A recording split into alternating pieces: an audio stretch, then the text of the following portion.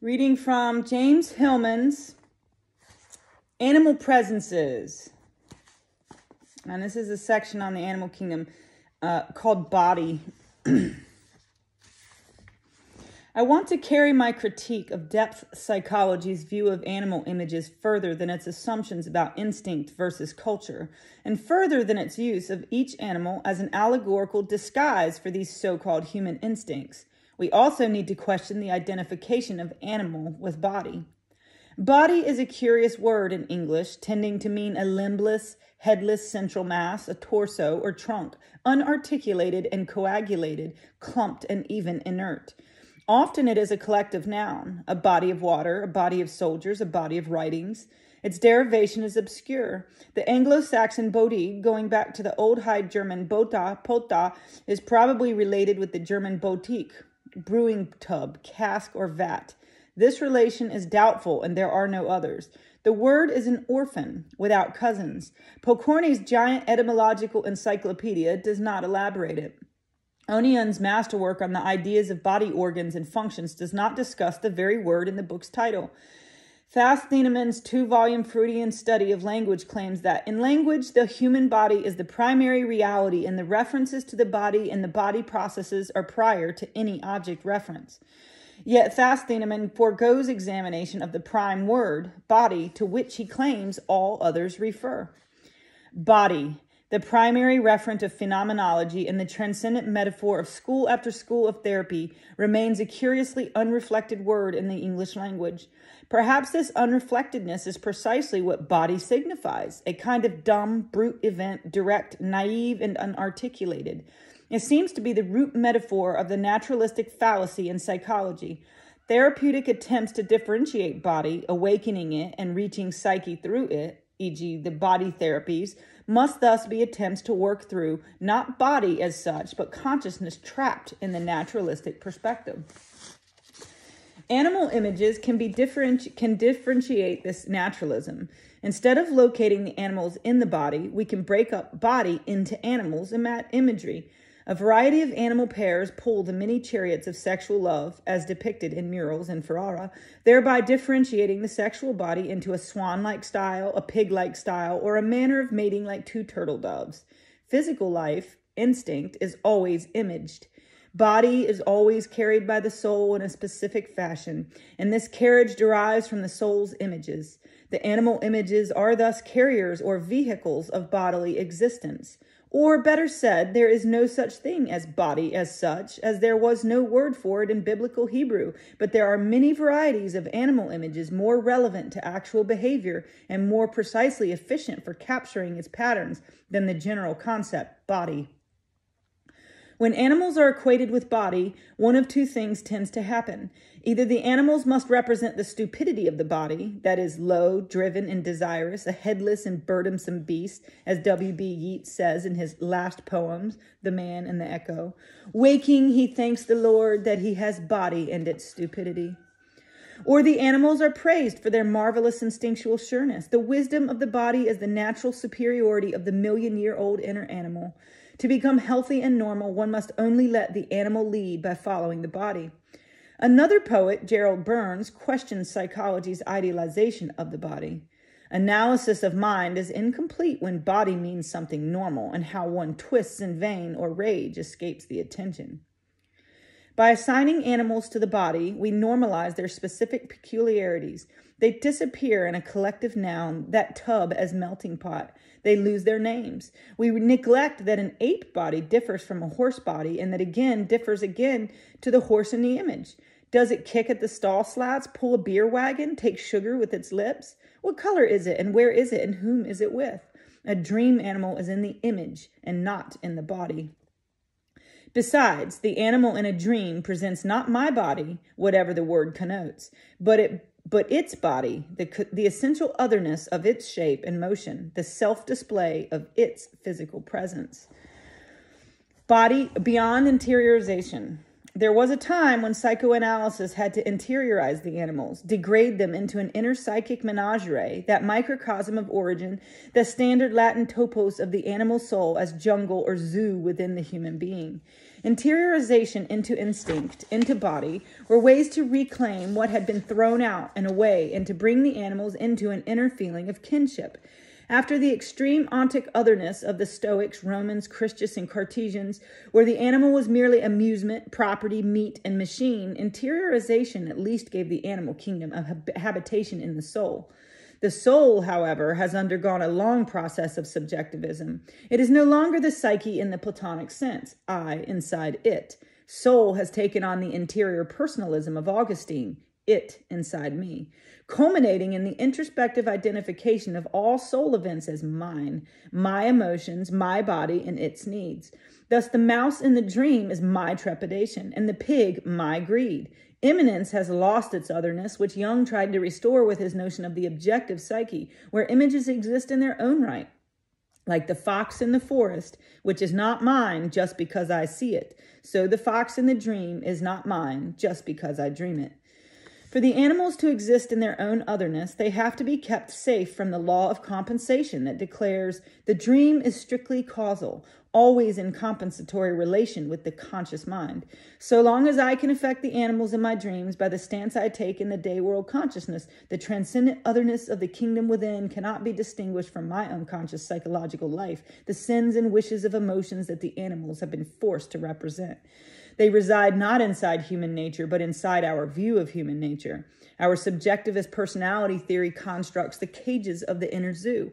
The law of compensation has delivered dream animals wholly into human hands, the hands of our humanistic interpretations. What I have been criticizing as functionalism, symbolism, or subjectivism can be subsumed under interiorization. Animal images as representation of organ, drive, or Daseinsweise is a still a degradation, even if this mode is the most subtle and psychological. Lost is the animal as other, its ownership of itself as a self possessed creature with its own nature not assimilable to mine. Can we leave the animal out there in its otherness and yet retain its psychological import and our kinship with it? Can we remain psychological without interiorizing? Henry Frankfort wrestles with a similar question regarding the animal god relation in Egyptian religion. First of all, Frankfort says the term animal gods is wrong. They were not totemic figures. There was no sacred bonding with the animal, and the animal did not function as a symbolic representation of a god in the way that an eagle elucidates the character of Zeus. There was nothing metaphorical in the connection between God and animal in Egypt. No functionalism, no interiorization. Rather, Animals, as such, possessed religious significance for the Egyptians. Their attitude might well have arisen from a religious interpretation of the animal's otherness. A recognition of otherness is implied in all specifically religious feeling. Here, Frankfort refers to Rudolf Otto. We assume, then, says Frankfort, that the Egyptian interpreted the non human as superhuman, in particular when he saw it in animals. In their inarticulate wisdom, their certainty, their unhesitating achievement, and above all, in their static reality. With animals, the continual succession of generations brought no change. They would appear to share the fundamental nature of creation, its repetitious, rhythmic stability. Each animal confirms that living forms continue. They are eternal forms walking around. An animal is eternity alive and displayed. Each giraffe and polar bear is both an individual here and now and the species itself, unchanging, always self creating according to kind. Each polar bear represents the eternal return of the polar bear spirit as a guardian, a spiritus rector, from which, according to Ivar Paulsen, speaking of the circumpolar Arctic peoples, the very idea of a god arises. Gods originated within the animal world itself, that is, with the actual animal. This offers an answer to the question about the nature of the animal rubrics, the general bestiary names, i.e., e.g., pig, eagle, crab. Species names go back to Adam in the Garden of Myth. Each species is a primordial substance or living archetype as visible image to which the question of origin, being temporal, cannot apply. The origin of the species is outside historical empirical knowledge. The species can be apprehended themselves as origins, as revelations of eternal forms, and so theories repeatedly turn to them for the secret of origins. In the animal image is the eternal return, eternal return in Eliade sense, the ricorso, not as a death instinct, repetitious into entropy, but issuing forth ever the same from creation, as the thundering herds of buffalo to the plains Indians were always the same buffalo, charging up from the earth each spring, not subject to history, each species breaking through history repetition as renewal, a blessing, a witness to continuing creation. So when the last giraffe, the last white bear falls dead, it is also the first giraffe whom Adam named and who was on the ark. Its fall is the extinction of an eternal seed, a divinity, divinity killed, deicide. Their certainty their unhesitating achievement, their static reality, Frankfort says, confirms in humans an animal faith. We rely on the term animal to express our unquestioning confidence in the reality of being. What we abstractly call instinct is a behavior of certainty, exhibiting faith in repetitious static realities, following the path, as Jung said, with great regularity. The Western cult of change through human will, its belief in historical progress, of course, declares these witnesses of primordial faith in the reality of continuity to belong to a lesser kingdom, or declares them already by definition extinct, that is, soulless, irrational, or mechanical. But the recovery of these forms in our dreams can restore that animal faith in the repetition of continuing realities, that animal certainty, as Frankfort calls it, or preservation of the species, as biology calls it. The animal is the unhesitating answer to nihilism. It must go on, each according to its own kind. In each animal, the arc is recapitulated in the garden. In illo tempore, this morning in your dream. The otherness of each animal form is what I believe Adolf, Adolf Portmann's scrutiny of concrete nature brought us to see and feel for 30 years at Eranos. Curiously, his lectures were for many years the last ones, each year closing with his disguised tribute to the animal kingdom, as more recently has been closing with the theme of Egypt, whereto the animal could not be more honored. Closing lectures that by ritually invoking the animals bespeak our faith in the continuity of Eranos. Portmann insisted that appearance, like experience, is a basic characteristic of being alive.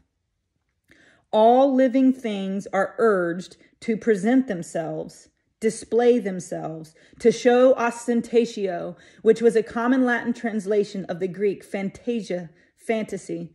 Each animal's ostentation is its fantasy of itself, its self image as an aesthetic event without ulterior function. Portmann brought many kinds of evidence for these unaddressed appearances. For example, the small transparent oceanic creatures that live in the interiors of the other larger creatures or below the depths where light cannot reach have no visual organs themselves and whose brilliantly vivid and symmetrically patterned forms serve no functions, neither as messages to their own species as attractions or warnings, nor as disguises. Sheer appearance for its own sake, unaddressed. Here, self display is realized in its purest form. Appearance is the result of a very specific structure of the plasma. It is its own purpose. Appearance is its own purpose. Does this not say that the animal is an aesthetic creation, that the animal eye is an aesthetic eye, and that the animal is compelled by an aesthetic necessity to present itself as image? Portmann's radical insight into the biological necessity of the aesthetic explodes the sheerly functional notion of animals, struggling to feed and breed, ever in fear and trembling, their demiurge as mere territory or possessive property, and whose reason for being on earth is sheer preservation without spirit, without sport, without play. And we see, too, how human psychology, by using this narrow view of animal life, cannot take their images in dreams otherwise, implying that the way back to the animal kingdom for humans must be only through brutalism and bestiality, sex, body, territory, fight, flight, release mechanisms, imprinting nature still in red and fang and claw. Then a behavioral, biology based psychology must view the aesthetic as a secondary accompaniment of more species preserving functions or as incidental decoration. Psychology has refused to see that the animal kingdom is first of all an aesthetic ostentation, a fantasy on show of colors and songs, of gaits and flights, and that this aesthetic display is a primordial instinctual force laid down in the organic structure. Our attempt to deliteralize interiorization has taken a second step. First, we had to see that the interiority of animal images is not inside us. Now we are led to see that this interiority is also not inside them. Their Innerlichkeit is in their appearance. The interior selfness of the animal appears in its displayed image. The interiority need not follow anthropomorphic and subjective notions of memory, experience, and intentionality, not self consciousness, but self presentation. I am continuing here with a theme I began to formulate last year as a depth psychology of extroversion. The turn to the world as a psychological arena where any event displayed to the senses is also in imaginative form.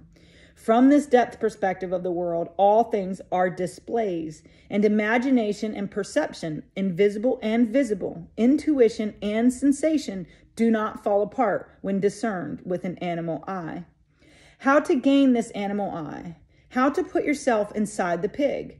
We have touched upon several ways making phylogenetic correspondences with human embryology, interiorizing the animals as human physiology, seeing stereotypical behaviors as allegories, the greedy pig, discovering the symbolic essence by means of amplification, the devouring earth mother pig. Now let us move beyond correspondences, symbolization, interiorizing in living forms as metaphors. Let us attempt another entry into the animal kingdom. Can we climb aboard the ark? A man dreams. I am walking with my wife outdoors somewhere. We notice a lot of ants. We get interested in them, even getting down and looking at them from eye level, maybe even picking them up like being one of them, seeing things as they do. In the next dream, the wife kneels down to a dog in order to show some children who cannot learn the dog's tricks how to do it, and the dog then easily performs his trick. By bringing our superior postures to the level of the creature, kneeling to it, condescension, we begin to see as they do, a transposed eye. Gods retain this animal eye. Their animal heads and animal masks display their animal consciousness. The head of the animal on the human torso maintains that lower eminent vision of creatureliness, creator and creature, God and animal in the same figure. To see with the creaturely eye is an act of imagining the world so that it appears in continuing animation, in a continuing play of creation with which human consciousness participates by means of imagining acts.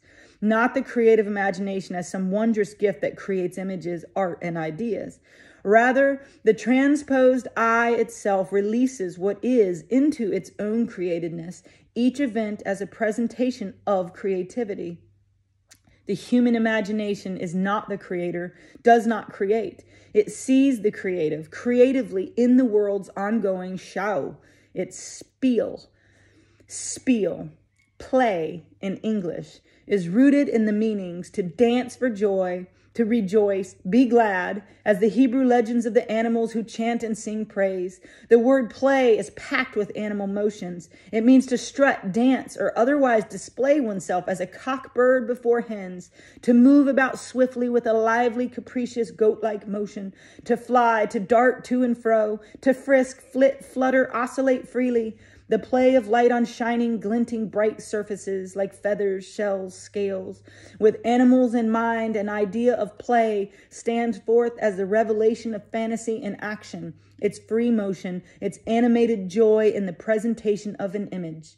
With animals in mind, play is the visible display of the invisible, free of purpose, of function other than its own display. The phonetic link between play and display, and I have learned from Paul Kugler that such links may indicate profound connections, suggests that the animal's urge to self revelation is reason enough for its creation. That is precisely the help it offers Adam.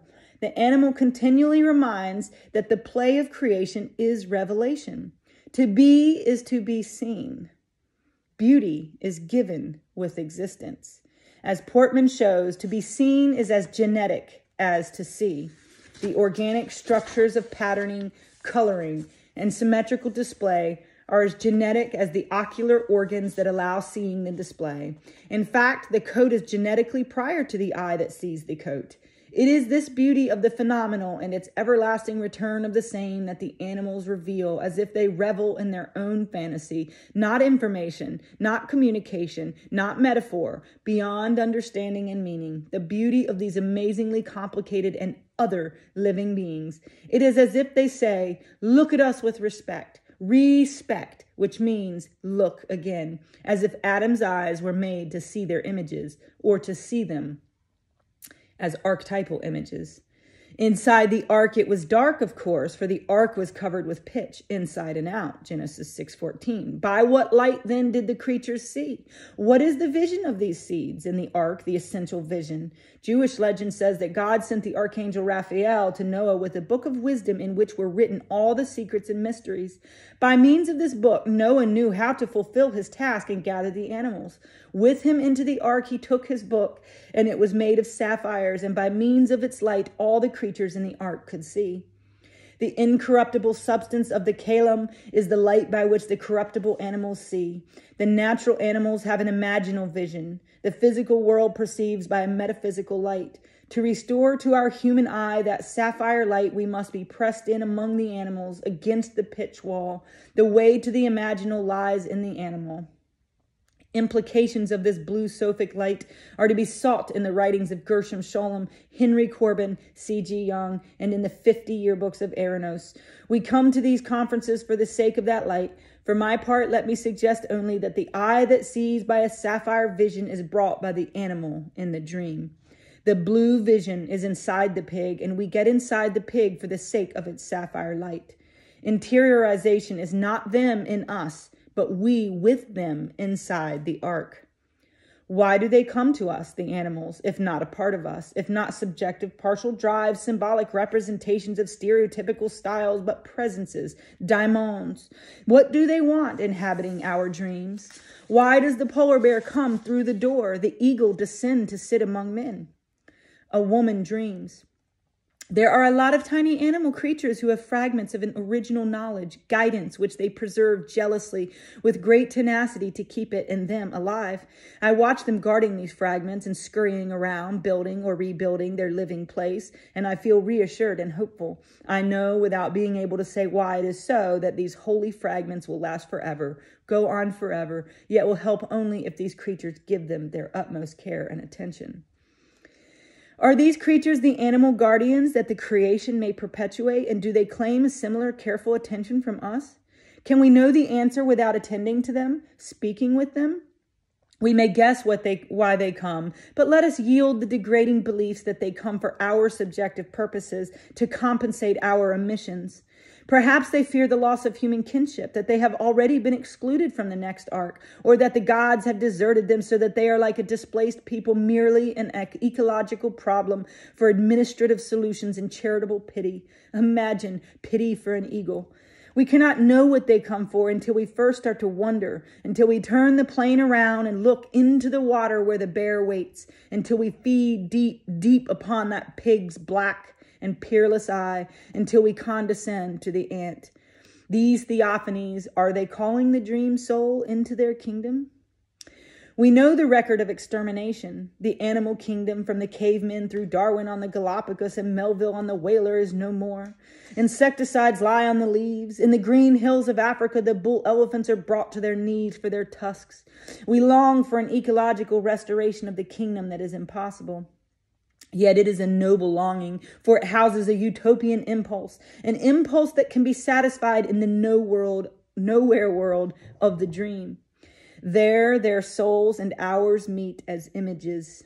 The dream is an ark in which all living forms, according to their kinds, can abide during the eternal cataclysm that is coterminous with the ark. Do they come to remind of the cataclysm that occurs wherever humans fail to see by a blue light? Fail to see that the invisibles is in the perceptible, that the invisible that shadows appearances with their otherness, unaddressed to our needs and meanings, do they come so that we may still see beauty, even to save beauty? The restoration of the animal kingdom is thus a restoration of ourselves to that kingdom via the dream, where motifs that we encountered in dream after dream of the research extend beyond the heroic stereotypes of mythic amplification. The animal as fearful and dangerous, its conquest and our superiority, to motifs of learning from the animal, amazed by its beauty, touched by its pain, reconciliation with it, being born, helped, saved by the animal. These dream motifs restore the reason given in Genesis 2 for the creation of the animals as succor, Ezer. The terrible wildness of animals disappears in messianic times, say both Jewish legend and the Sibylline oracles. These moments of restoration appear in dreams, saved by the swimming bear, piglets arisen and delighting, the animals restored to life in the glass case. It has been said many times at Eranos that the soul is in exile from its Platonic possibility, the terra pure, the temple, but the restoration may require another more prayer recovery of the Ark and Eden, a recovery expressed today as an ecological nostalgia for a topos, a perimeter where human and animal share the same kingdom. But the dream itself encloses us protectively in the saving ark, in the originating garden. And here, there in the dream, we may recover the habits of the crab and the mouse, the knowledge of the pig, the animal coat, the animal tail, the animal eye. Is it possible that it is we who are delivered into their hands to guard us from our own extinction? Yet we cannot summon them? They are other. It is for them to come to us. Will an eagle dive? Will a crab take hold tonight? Sleep and hope for a pig.